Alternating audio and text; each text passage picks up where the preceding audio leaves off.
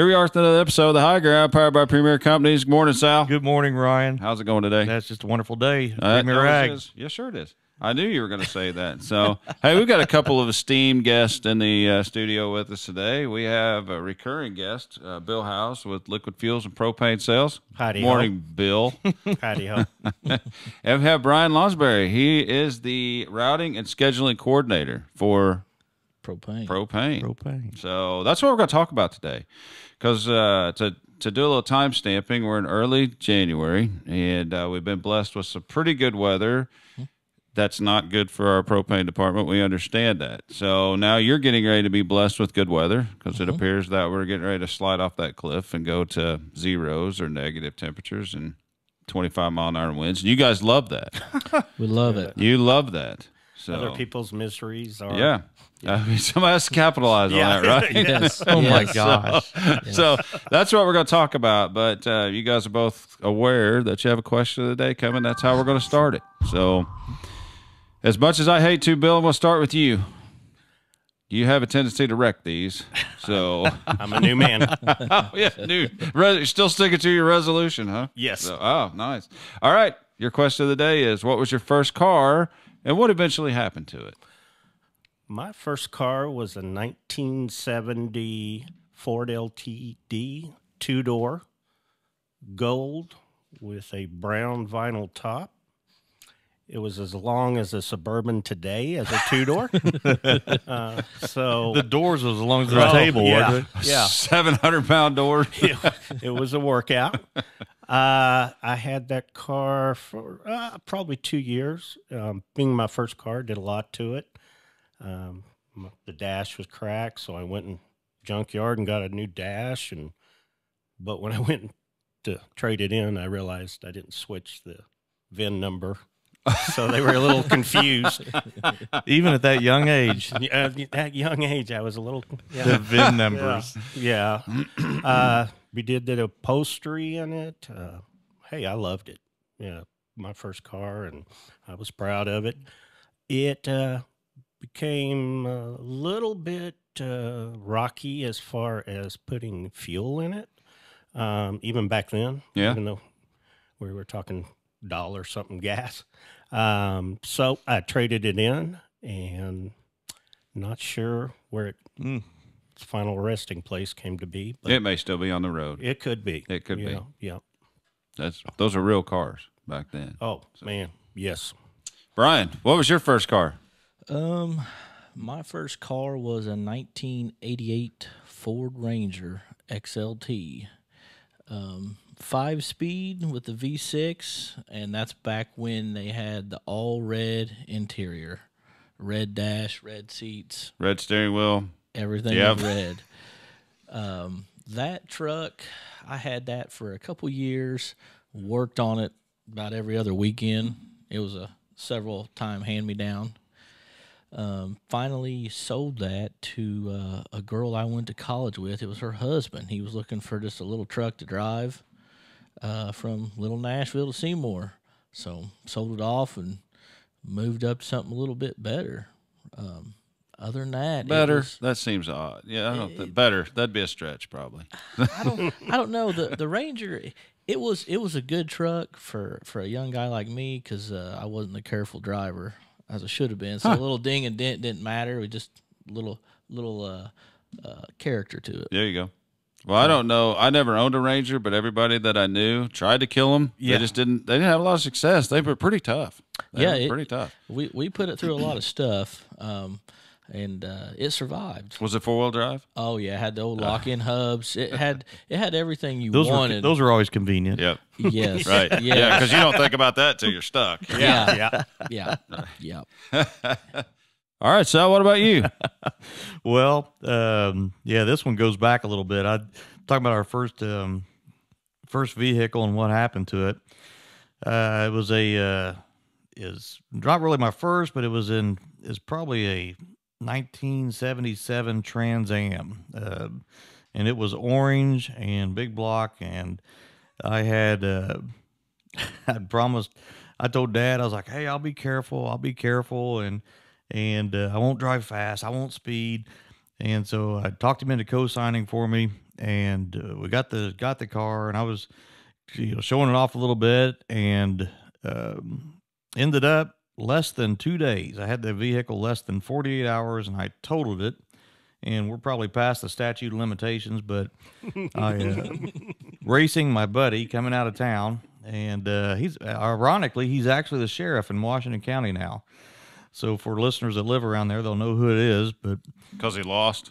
yes, I won, but but uh, had it for less than two days, less than forty eight hours, and totaled it. Uh, I was probably going seventy miles an hour. There's a little bit of rain on the on the highway, but I don't know if that would have helped anything. Uh, of course, that's back for seatbelts, and uh, fortunately for a young kid that didn't have a lot of sense, um, not a scratch on me. Totaled the vehicle, busted every window in it, and uh, even the steering column was bent up. And uh, but uh, I went on to wreck other vehicles. but uh, excellent driver now, so hope that that doesn't reflect on my driving record today. But uh, that was uh, that one didn't last very long. I don't think my mom even got a chance to ride in that vehicle. But that's mine. That is good. That's good information to have, Yeah. though, guys. Yeah. When he asks, "Hey, my company truck's in the shop. Could I borrow one?" The answer is No. No. No. There you go. See, but I'm, an, I'm an excellent driver now. Excellent driver. if you do say so yourself. Huh? So my first one was a 1976 GMC pickup truck that sat in the barn lot for a long time. Had stock racks on it for a long time, we hauled hogs in the back end of it. So, um, I, the day that I took it as my my first vehicle, uh, I took it to the car wash and washed almost as much out of the inside of it as I did out of the outside of it. That's when you used to drag the hose right through the cab, right? Oh yeah, Vinyl. Yep, vinyl everything. Yep. Vinyl seats, vinyl console, vinyl floors, no power steering, no AC. Man, it was fun though. I went took put new tires on it, put glass packs on it, and Of just course. run it. And uh, yeah, and it was a it was a '76 GMC with manual transmission, no power steering, but ordered with factory bucket seats in the console. Wow. So yeah, so you could ride three in the cab, but the guy in the middle, Middle, Yeah. yeah, Really? real rough. terrible, terrible spot to Not set. cool. Yeah, yeah, terrible spot to set. But I drove that truck for a long time. Sold it for three hundred and fifty dollars, and it had sixty four thousand miles on it when I sold it for three hundred fifty dollars. Looking back now, I mean, you could pull the three fifty out of it with that many miles on it. Probably got eight hundred out of Yeah. it today. So Right. I wish I knew where that truck was, but uh, I doubt. I doubt if it's still alive because uh, you really had to rest your, your boots on two pedals to keep them going through the floorboard. By the time I sold it, was sixty four thousand miles on it. So I doubt, regardless of how many miles they put on it, it's not around at this point in time. There may be parts of it. If but- you get a hole in the floorboard, you just get floor mats. Right. there. well, we used to uh, rivet license plates into the floor pretty pretty regular on a lot of those old trucks. So there's like five of us that had 76 GMC pickup trucks for some reason, and uh, uh, they wouldn't have been around today with the way they rusted. But yeah, so we had this sec- 76 club, and we were cool and amongst ourselves. Yes. That was about it, though. Yeah. I mean, and I had valve cover gaskets that leaked, so if you parked it at Walmart, you could still see. If you didn't shop real long, you could still see where it parked at because it was a little like pig pen. It had that blue smoke just sort of hovering around it. So you didn't have to remember what aisle you parked in. So anyway, that was a that was a good one. So all right, well let's get to the real reason why we're here. It's not necessarily the interview, Bill, but that's always entertaining. So. Mm-hmm. So we're going to talk about propane, and uh, as the weather slides into uh, some more winter-like conditions, let's talk about propane safety. Bill, um, I want to kick that one to you first. Um, coming from someone who doesn't even like to fill their own grill tanks, Yeah. So let's talk about propane safety for our homeowners, for for anyone who has propane or maybe thinking about switching to propane. Safe product. Absolutely. Okay. Let's uh, go the the first route, and th- this is the one that really gets we want to jump on real quick. Is if you're smelling propane inside uh, a home or an office building, um, we just some things you want to do right off the bat. First of all, if there's any open flames, candle, cigarette, um, range, let's turn those off. Don't touch anything else. Don't turn light switches or anything that could spark. Um, it could spark an explosion. From there, get out of the house. Um, you can go to your tank and um, turn it off. It's just a, a valve and turn it clockwise, and you can turn off the propane that will be going to it. And from there, get a hold of us, your propane dealer. Um, we will get out there quick and get things figured out. It may end up being something happening with an appliance of yours or whatnot, but we'll figure it out and get the from there. They can get the right people there, but we don't want to take any chances if you smell propane. Um, if That's pretty rare. I mean, that's something that it'd be unusual. Uh, not as unusual Really? as you'd think. Hmm. Yeah, Yes. we, we get. So, what are some of the causes? Uh, like I said, it could be an appliance issue. Um, Left on or left, yeah, or a leak from at the connection inside. Um, for us, we deal with from the tank to the house. Everything inside is not our responsibility, but we obviously we do leak checks and make sure all the propane's going there, you know, properly and there's no leaks. Um, just quickly on the safety. Every time we um, do a leak test, it's because normally it's because either a customer smells something, which obviously the propane has an additive that gives off that smell. Smells like rotten eggs. You can smell that. That is something that we actually that the providers put into the propane for that safety. But then also, um, anytime there's a new owner at the uh, residence, a new homeowner buys a place because you don't know if somebody's had a dryer, a stove, if they unhooked it, if they moved it. Um, we find that quite a bit, even on the new appliances. Somebody buys a new stove, um, happens pretty regularly. You get a stove that something was loose, um, something wasn't installed correctly, um, and we and we find those. Um, it's just good common practice. So we like to have a leak test on every new homeowner, every new person to that residence. That's a good idea because you're pulling out those uh, fire logs or whatever else. Who knows what got moved out, painted around, pushed back in, Mm-hmm. that sort of thing. Well, Bill, we just did a new install, right? Absolutely. On, my uh, barn dominium. I Yes, built sir. one of those pole barn shop and, and mother in law house. So Mm-hmm. we got her moved in, and Does she have her full accompaniment of Milwaukee tools yet? You know, No. not yet. But she needs 'em. That is a good idea. I think she needs. She could put them right there along with mine. yeah, she probably needs the 12 volt Yeah, set. I'd say she does. Yes. Yeah. Anyway, But go uh, so, um, kind of familiar with this because the bill and the propane uh, department came out and and set the tank, and then uh, we had two different furnaces. We had one for the shop and one for the home Right. that was uh, going in, and they ran different lines and and regulators, and and uh, it was it was important that the that the installers of the the the heating and air company was there with the new equipment, and Premier Ag like to have both of them there. That was important, so they could kind of work together just to make sure that their equipment was working right, and our propane was all hooked up good. Right. We that's a that's the best case scenario is if we can work with the heating and air people at the same time. Um, they're there. They can check their leaks. We can run our tests. Um, just tends to work out better for everybody if we can make that happen. Doesn't always happen, but um, when that does, it's best case scenario for us and the homeowner. Um, and we just want to make sure, obviously, that we're doing what we need to do that our we've checked all our, our boxes and you're ready to go um yeah because you just never know um it- installing all that pipe inside there can be Yeah. you know a, just a small leaks here and there What what struck me was how easy the process was. I mean, obviously, all right, we work here, but even if I wasn't, if if I wasn't part of Premier Ag, I made a phone call. Bam! Somebody's out there looking at the site. The tank comes. I mean, it's just like it was easy. Never had to do a thing. Well, and and and that's that's our responsibility. That's what hopefully sets us apart from the competition. Um, we get out and take thing take care of things as quick as possible, but at the same time, make sure we do a professional job and everybody's happy. It was easy peasy. That's what we want to hear. So what we're talking about uh, leak checks. Don't we do leak checks every time somebody runs out of gas too? Correct. And why is that? Why is that important? we do that. It's it's per company policy that we do that every time it runs empty. Um, it's a disruption in the line. is what they call that. So every time we have to come out because the tank is empty, we have to do the leak check. Uh, we prefer them not to run empty, but we still get people that call or people forget that's on a will call status. Um, also, that gives us, you know, if you're on a keep full or on a scheduled route, if your tank's empty, it shouldn't be empty. So that's a red flag.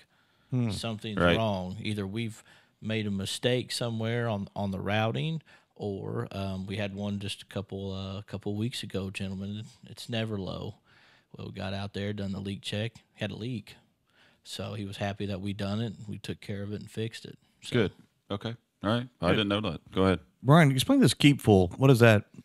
Uh, the keep full. Um, I would say the better name for that would be scheduled delivery. right. Um, only reason is um, on, on the keep full. Sometimes uh, the customers get every time you drive by, they want you to stop and drop twenty gallons. Oh. They oh you keep me up, keep me up.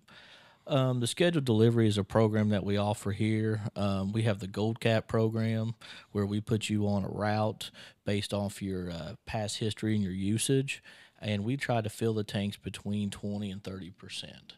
Is where that's where it's optimum for us, maximum efficiency. We're delivering the most gallons, and you're not low to where you're in the five or 10 percent range um, we really push that because it's a lot easier to work you into the system and on, on that delivery rather than you call in, you're at five or 10, and then you're worried Yeah. for a week. It's uh it's three to five business days when you call in. So if we can put you on on the scheduled delivery, you don't have to monitor the tank. You don't have to look at it.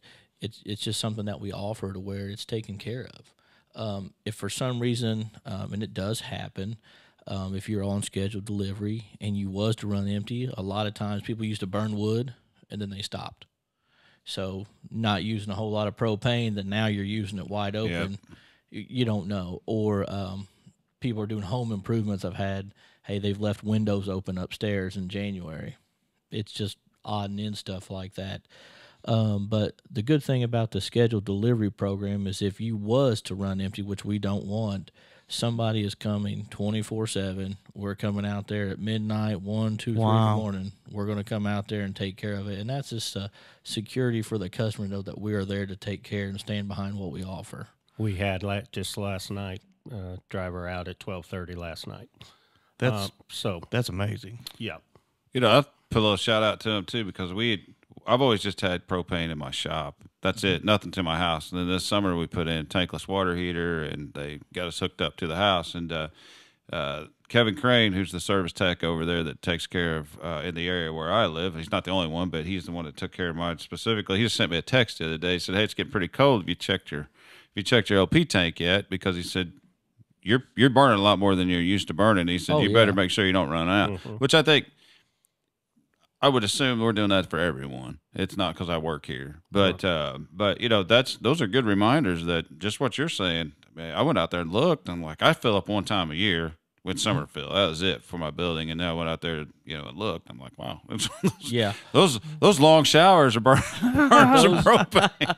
it, it, it makes a difference. We get um, a lot of times you see now is the uh, in laws or or the parents, Sal, you know, Yep. the mother in laws move in and they turn the heat up a little bit. Um, here in the past couple of years with the housing boom, you see a lot of home uh, remodels. Drywall's a big one. Um, trying to get that stuff to dry down. I mean, they crank it way up. You get that um, even on scheduled delivery when you get out of the normal your normal cycle. You know, you come home, the heat's at, you know, 65 to 70, but hey, we're, we're doing something here or we're changing something. It's kind of good, even though you're on scheduled delivery, kind of take a look at that because that throws that out of whack. Um, a good example are shops. Shops are the worst to try and keep track of because when you open that door, hmm. I don't know if you open it five times or a hundred times that month, and you'd be surprised at how quickly it sucks that heat down. I'm finding that out, Bryan. It's, mm-hmm. it, it's I've got those great big doors and they're electric, and I love using them.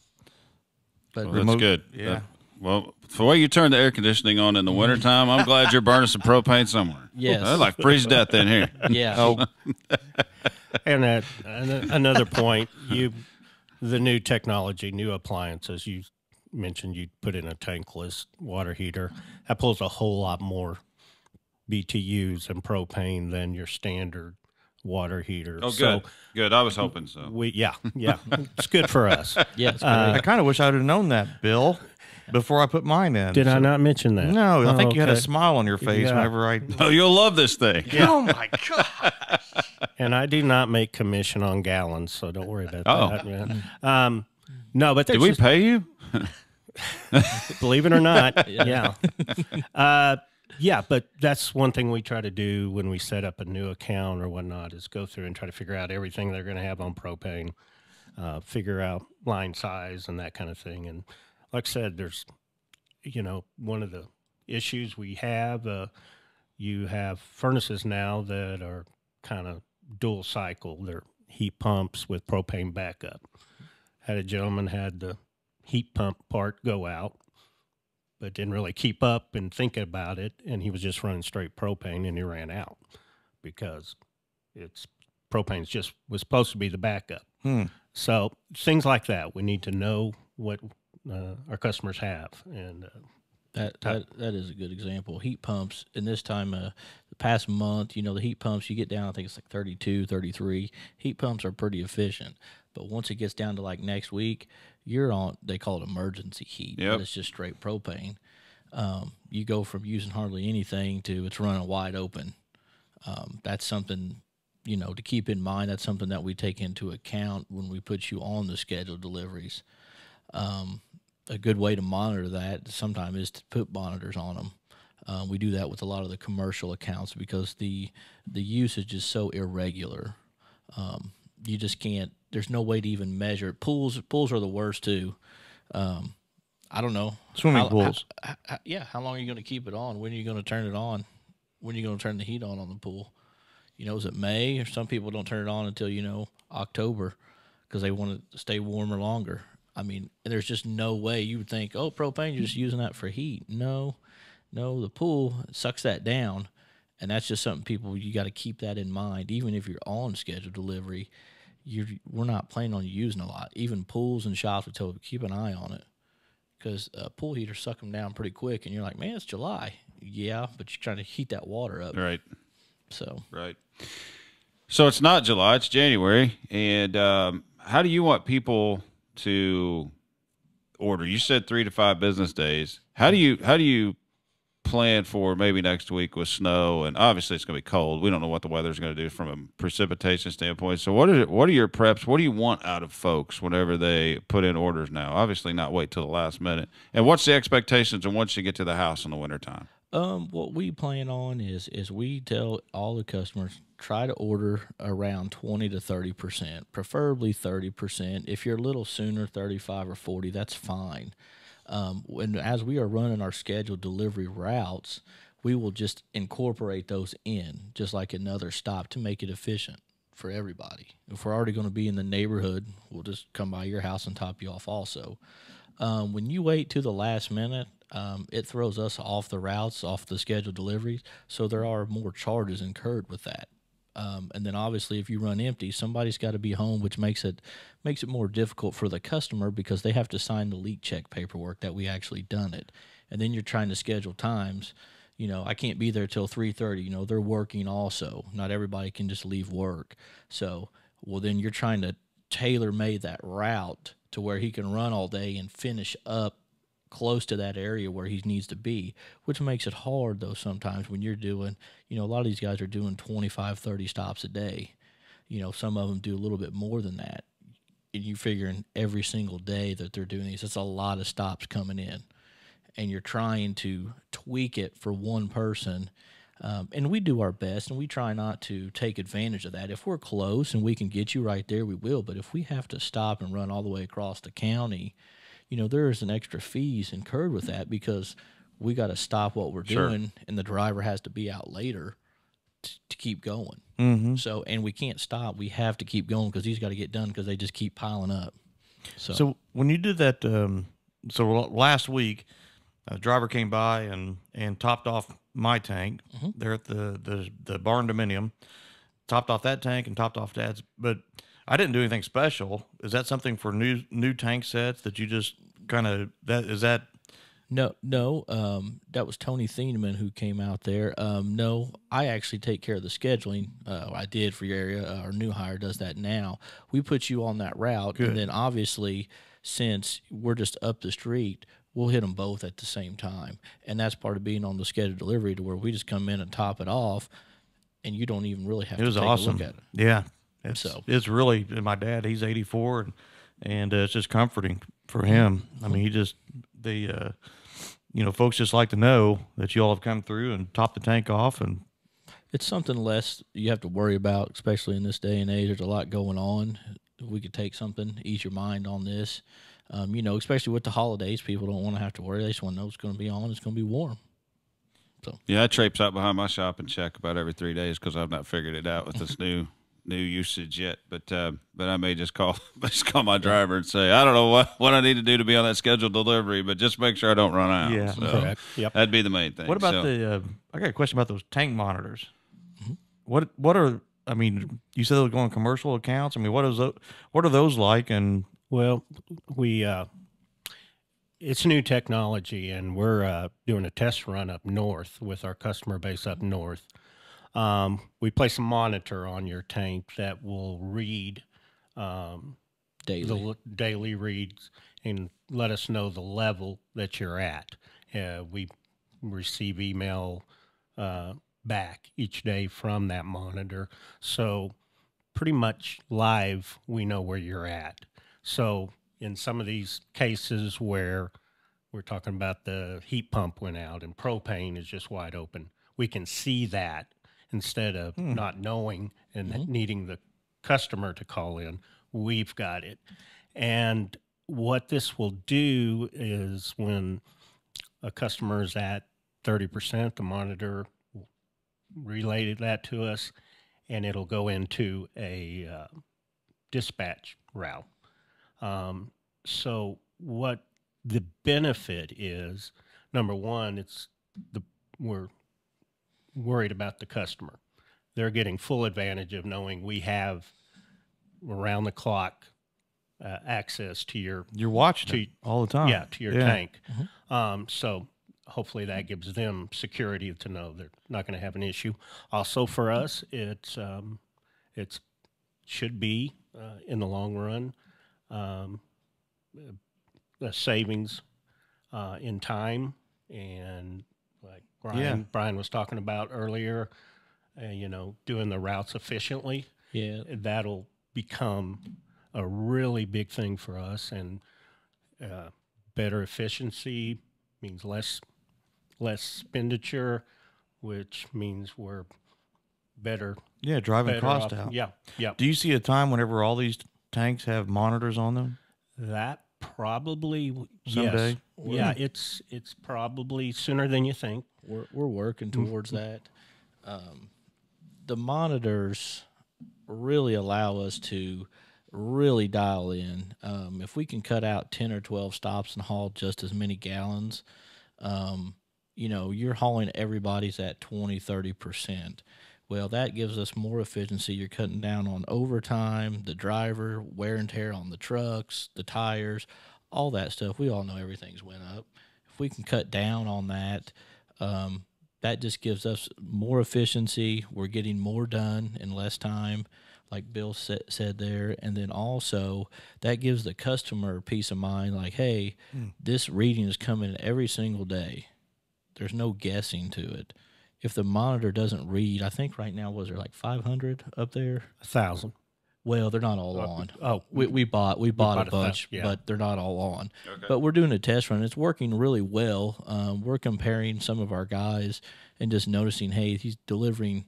Um, just the other day, you know, it was twelve less stops, but he's delivering, you know, fifteen hundred more gallon, and they're not running out. Well, over the long haul, when you figure out how many trucks we got on the road, plus your diesel fuel, plus the driver's time, that's that's delivering you know a quality product at, at a reasonable price and that helps us cut down which is beneficial to everybody Sure.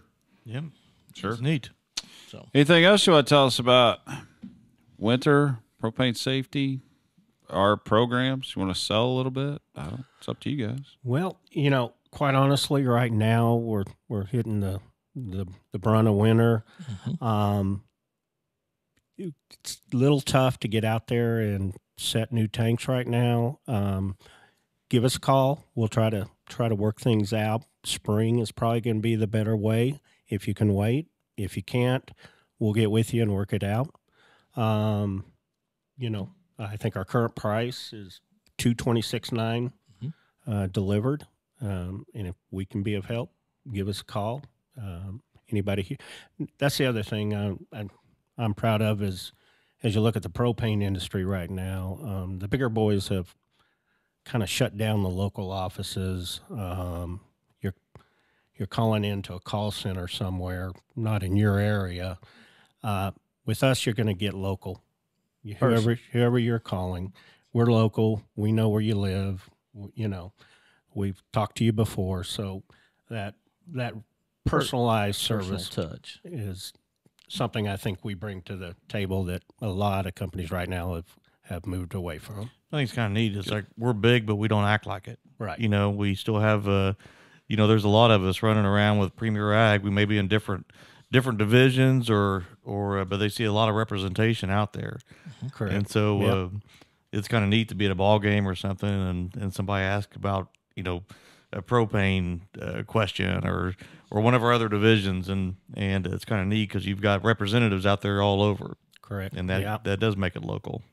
It's funny when you drive around and see how many customers we really have because of those tanks Tanks. sitting out. I mean, Yeah. that is, mm-hmm. that's a clue in. I mean, you drive down by a cornfield, you don't know maybe sometimes whether it's ours or not. But man, it, it's pretty easy to tell how many customers we have and a true appreciation for people. And you might see them on the street. And you're going, you know, I don't, I don't really know that guy. Well, he's a customer. You know, Yeah, that's a, there's a real, there's a real high possibility maybe. So, Right. so, um, anything else? You good? I think I'm good. So, you got any more for him? Thanks for all you do. I know I've been using them a lot lately, so Yeah. Well, batten down the hatches. It's gonna get uh, gonna get ugly. So uh, yeah, I know you guys love it. So Oh yeah. Put a smile on our face. and I will preface that you said a little bit ago, we know where you live. I'm not 100% comfortable with that, Bill, but it's okay. I know you meant it in the best way. So it did. I know it wasn't a veiled threat. yeah. So, all right. Well, that's all we've got. Thank you guys for being here. And that's another episode of The High Ground powered by Premier Companies. Please like and subscribe. thank you.